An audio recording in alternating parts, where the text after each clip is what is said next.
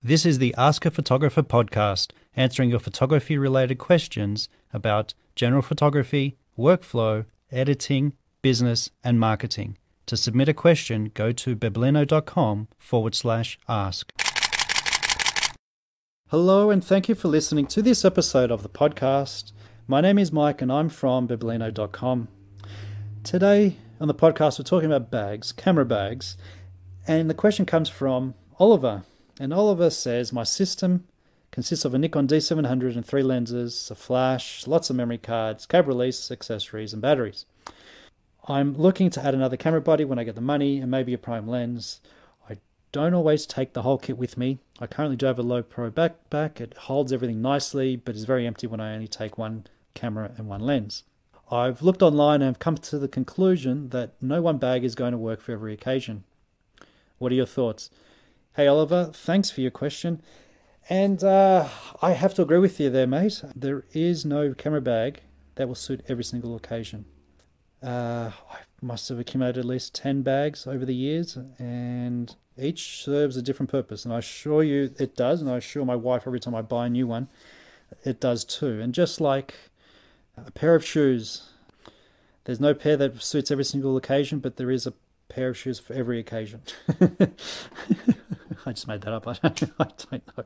Anyway, back to bags. So, um, yeah. So the thing is with choosing the your backpack, you know, it comes down to how much equipment you want to carry, obviously, right? So, but I think when people go out photographing, and I see this quite often with new photographers, is they take the whole kit and they don't necessarily use all of it, or even other than just what's what's in their hands. So, I think thinking that way is probably a good way of um, um, going.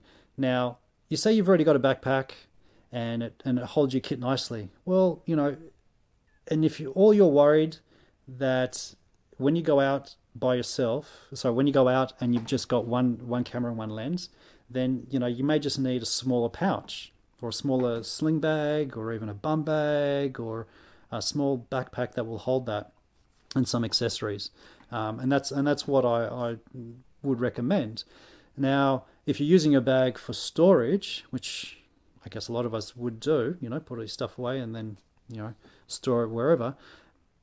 You know, then having a bag that accommodates everything in one in one location um, is also an option. So you, can see why people have more than one bag. It's just you know you just your kit grows and you obviously need uh, more place to store your stuff. So what what I would start with is obviously what you're taking with you, and and if you're saying you know you're taking one kit, sorry, one camera and one lens, I tend to use a bum bag. I've got a Lowepro a Lowepro sideline shooter. It's called. I've had this for uh, I think close to 12 years. It was one of the first bags I purchased. It has several zips, one that opens up the whole thing from the top and I can go in.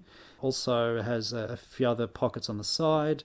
Um, it has one zip that it gives me quick access, but predominantly it's just like a bum bag, right? It's one big pocket with some mesh mesh pockets on the outside and mesh pockets on the inside. Really, really cool. I have my uh, camera um, with a 50 or a 2470, um, no no grip, just in there, and it fits quite nicely. And in fact, there's actually room for other stuff as well. You know, um, it could actually be a second lens if it's quite small, or you know, wallet, keys, phone, that type of thing. And it's quite comfortable to wear. It's got it's hasn't got too much padding around the front, which is fine by me. Um, it's got actually a fair bit on the back, so the, the part that goes onto your body. It's really really good. Now I also do use things like uh, pouches with my Think Tank um, speed belt. It looks a little bit geeky, but um, you know I use this when I do sports photography or if I'm out photographing uh, a family and I just want to take one or two things. I put one or two pouches, not too much, um, but you know things like a little flash um, or even a, another uh, another lens, um, or I just want to keep my keys and, and, stuff in there instead of my pockets, and, and that that works quite well. That actually even works on a regular belt as well. Um, it's it's and you can buy these um, separately. These called the skin set. I'll put a link in the show notes for these bags I'm talk about, so you can have a look the next next would be a sling bag. Now, this is what I tend to use when I go out, and I've got two lenses and a um, a camera. So far, the the bum bag is the only time that I've attached my camera to the lens, but predominantly I, I have them separated, and it just makes a lower profile. That's all. It's no right or wrong. I know that there are some bags out there that allow you to put the bag, uh, sorry, the, the camera and lens together and, and, insert it in there, and, and that's fine if that works for you. There are, I believe, Think, Think Tank and also a Lowepro make um, bags that just hold the camera and the lens, which is cool, and maybe a little bit of space for memory cards and and, and, and you know some keys or whatever. But they're they're very limited as to, as to what you can carry. So I use a sling bag uh, that um, it looks like a mesh, messenger bag. It's it's made by Think Tank. It's the Lens Changer Three. It is designed predominantly for a uh, lenses. So the idea is to have your camera ready to go and you're using it, but then you have three um, three extra lenses that you can be changing out of. I actually, when I go out into town, I use this bag, um, as I mentioned, with two lenses and a camera body. And the camera body, when it doesn't have the grip on, fits nicely because it actually fits a 24 to 70 with the uh, um, the lens reversed, and it's quite uh, quite high. It even comes with a rain cover. Um, it even has a pocket at the back I can put, you know, notes, model releases, um, directions, that type of thing. And I use that quite often. It, it's, you know, I think it was 160 at the time. Not too expensive, but not too cheap either. Uh, for what it is, it, it's, I guess it's limited when you think about it. It's only meant to hold lenses. If you adapt the camera bag to your to your needs, um, it actually works quite well. If I couldn't get a camera body in there, I'd actually be stuffed, and and I probably would take something else or have to carry my camera uh, with me um, as opposed to put in the bag. So I'm very lucky that it does actually fit in there, and, and that works quite well for me. And it looks like a regular mes- messenger bag, which is great, um, especially if I'm public, public transport and I don't want to look like a tourist. Um, the next would be backpacks. Now, you can get smaller backpacks that would accommodate, you know, camera and a couple lenses. But the problem is backpacks is they hold so much and I guess that's not really a problem when you think about it. But if you have to lug it around, it's you know from the car, sorry, from the house to the car, and then from the car to the location. If it's quite short distance, it's okay. But if you're, say, for instance, going on a photo walk and you want to walk around all day, you know, you catch public transport in and uh, into the city or wherever you're going, and then you're walking around for the day and coming home, that bag on your back with all that weight can get quite tiresome. Lowepro and Think Tank make really good straps on their bags. Um, I really do like, and this is the brands that I do do use quite a lot. I interchange between the two because they're quality, they're good quality bags. They're made very well, and they have um, lifetime warranty on them. So that's, geez, you can't go wrong with that, right? Back to the straps. So the straps, you should have good good padded straps, but also to have the padded waist strap as well. Um, I have a Shape Shifter backpack, and that that fits two camera bodies and two lenses and a flash, I believe, yes, and a flash just in the main compartment. Um, once I take everything out, I can zip it up, and I use that for if I'm um, doing event work, and I can just slip that in the boot, or I can just wear that, and it comes down to like four inches flat. It's awesome. I, I, you know, there's a lot of bags that are just so well padded that really unnecessary. Um, I know that kind of sounds weird because all the glass and, and, and fragile electronics. But you know, if you if your bag is so full of equipment, once you drop it, something's going to break regardless because all the weight. So I found that if I'm careful with it and I don't drop it, it's it's all good.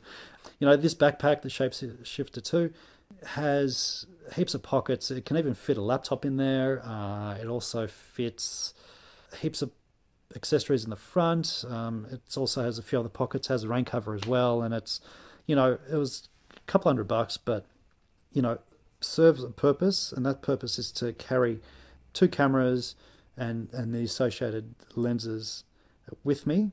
Um, it all, and when I do the event work, I've got my laptop in there as well. So it's I do sometimes take it with less equipment, but it's just overkill as you've pointed out with your Lowepro bag. But you know, it is a really well made bag. Next would be a roller bag, and the roller bags, you know, I think once you get your your extra equipment and have a little roller bag and you want to take it places, right? I mean, with your current equipment, I would not recommend a um, a roller bag for you unless you've got lighting equipment or, or lots of flashes and stuff that you you know other lenses that you want to carry with you. But Um, it would be definitely overkill. It probably would be a good storage solution. I have a roller bag. I've I've had it for must be um, I don't know eight eight years or so, and um, you know paid four hundred dollars for it. Um, it's it carries a whole heap. I find that uh, if it's bit bumpy or gravel, I'm stuffed. I, have got to carry it, and then that's where the problem happens. You can get roller bags that have straps from Think Tank, which are really smart. But once again, when you're um, loading it up with so much equipment, it defeats the purpose. You should be rolling it, right? So, the the the the, uh, the wheels are um, rollerblade wheels, um, and you know they've they've survived over the years. I've used used it every weekend for the past eight years, so they're, they're really well made. Uh, but that's the um, airport airport security version two, I believe it's called. So I'll put put a link in the show notes, and that's you know that's uh, that's going to the extreme, and that's when you have um, a fair bit of equipment, and you know that the configuration of that is can be changed uh, along with a lot of the other backpacks too. You know, you have the dividers that come with it, but this uh, roller bag had so many dividers that I've used it used the dividers in other backpacks. Um, there's, there's so many that come with it. And lastly, I don't know if you thought about this, Oliver, but making your own backpack. Here's the situation: you've got if you buy if you buy more equipment, right? You you need a bigger bag, right? Because you say it fits your current situation nicely.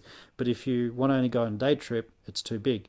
How about you take some of the inserts out and use a day pack? I've done this a few times when I've done hiking taken day pack, put some of the padding from the camera bag, have the camera attached, or sorry, the lens attached. I've only just taken one lens, right? And use the dividers and then put my clothes on top. And that way, you know, it's it's one, it doesn't, it's not bulky. Um, it carries other things other than just um, my camera equipment, and it's cheap. I've already got the stuff there, right? So that would be my suggestion. I mean, if if you're going to get a bigger equipment, sorry, more equipment, then obviously you need somewhere to store it and maybe getting a bigger bag would be an ideal, or even getting a smaller bag to to cater for those trips that you only have minimal minimal amount of equipment and have two bags and split it between the two when you go to store it. So that could be one option, and, and that's probably a cheaper option too because the bigger the bags you get, the more um, uh, costly they get. So. There you go, Oliver. I hope that helps you out. If you have a question that you'd like featured on the show, go to biblino.com forward slash ask to submit your question. I'd love to hear what you think of the show by going to iTunes or Stitcher and giving me a review and a rating. And don't forget to subscribe so you get notifications of new episodes. Thanks for listening. Until next time, get out and take more photos.